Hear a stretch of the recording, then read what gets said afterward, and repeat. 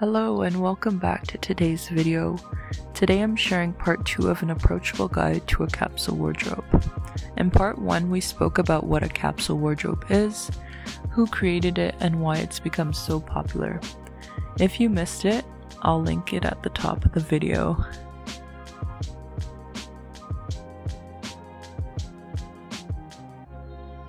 I will also link the article in the description again that inspired me to create my own capsule wardrobe and this series. Step 1 If you remember, we cleaned out my closet, separating clothes into piles we would keep and give new homes to.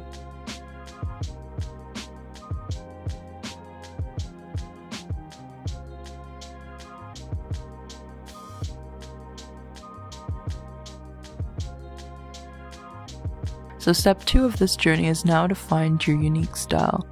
I personally love using Pinterest for this, and I could literally scroll and pin for hours. However, it's a great tool to put all your ideas in one place on an online board.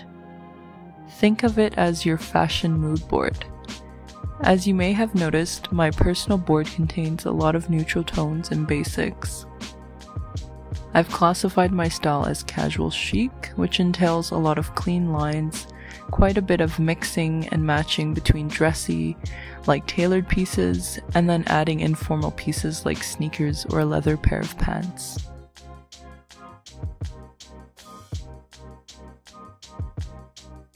Your style may be completely different than mine, but as you start building your board, you'll start noticing what color tones you prefer and a style you lean more towards.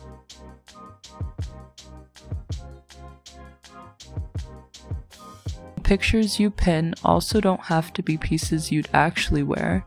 Maybe you pinned it because you like the colorway or the tailored pair of pants, or maybe it was the mood.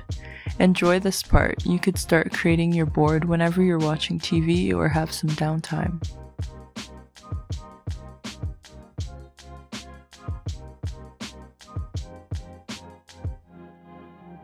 Once you have a good portion of your board completed, look through your wardrobe to see what you kept and start putting together looks inspired by your Pinterest board. You might notice there are pieces that you don't have and they would really add to your wardrobe.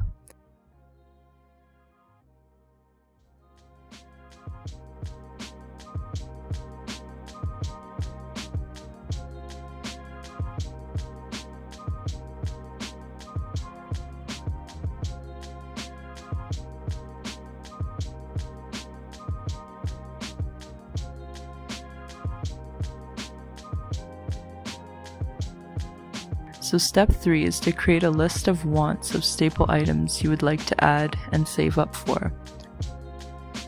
A good place to start is secondhand. Look on platforms like Facebook Marketplace or Depop.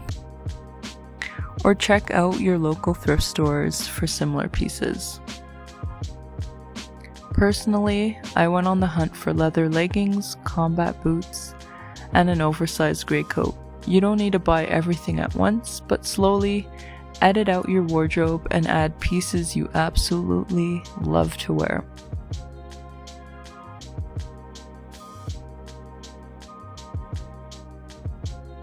Remember, this is a journey. Thanks for watching and see you in the next video.